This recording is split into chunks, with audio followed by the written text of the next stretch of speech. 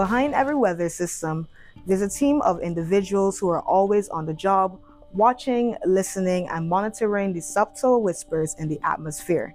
In this edition of Weathering the Storm, we'll discover how the Barbados Meteorological Services take complex data into simple information that literally saves lives.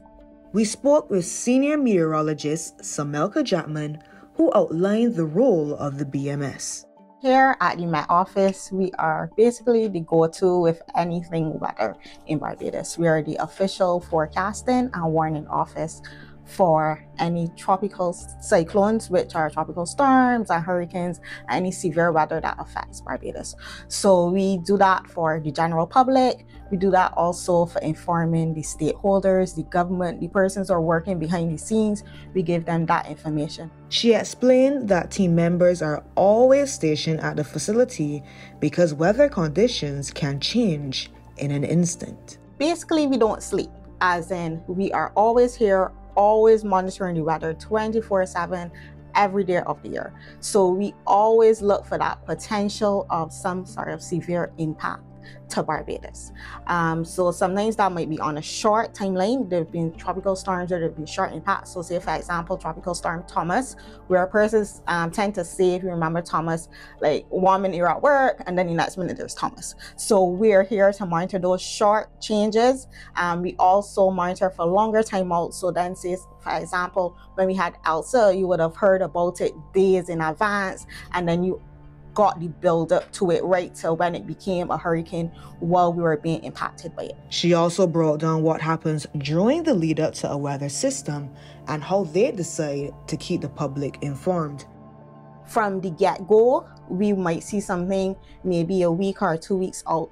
Generally, the further out in the forecast period, the less accurate something is. So then we might not share the information initially with the public, but we would give that heads up to the Department of Emergency Management and the other stakeholders in government. Then we, as we get closer and the forecast becomes a little bit more accurate, we would start to give information to the public. Additional personnel are brought in to assist and provide extra oversight. Uh, at that time, we also begin to um, have additional staff on shift. So generally, we would start to see the management, the director, deputy director, and senior meteorologist on shift 24-7 along with the meteorologists and the met assistants that are already here. So you have that additional personnel. We have the meteorologists and met assistants who are rostered to work at our particular time. We have the net shift on duty as well so that there is some relief if we are here for 12, um, 24 hours, you want to be able to relieve persons. You have multiple persons in management here as well. Um, and then you have additional personnel here just so that you can have relief. You have more eyes um, for the analysis so that you can be more detailed in that analysis and give better updates. We also sat and had a chat with other team members who were on duty. I am currently analyzing a 700 millibar chart and what this would do is help me to ascertain key features as it relates to tropical waves and other features that would indicate development into tropical cyclones and that kind of stuff. Um, the 700 millibar level is just one of many levels that we analyze from the surface right up to the top of the atmosphere. Meteorologists Christophe and Raquel added another layer of context about the comprehensive work they do. We essentially monitor all tropical waves in the Atlantic to the east of Barbados. And those tropical waves have the potential to become a depression and a storm or a hurricane and a major hurricane. Last year was a prime example of that.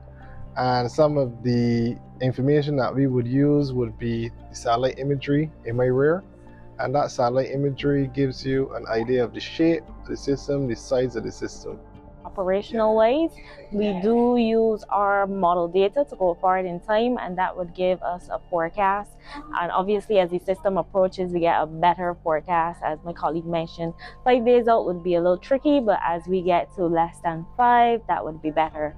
So we use our model data to give our forecast and also as it get closer to our region, probably within 400 kilometers or so, we're able to see it on our radar imagery.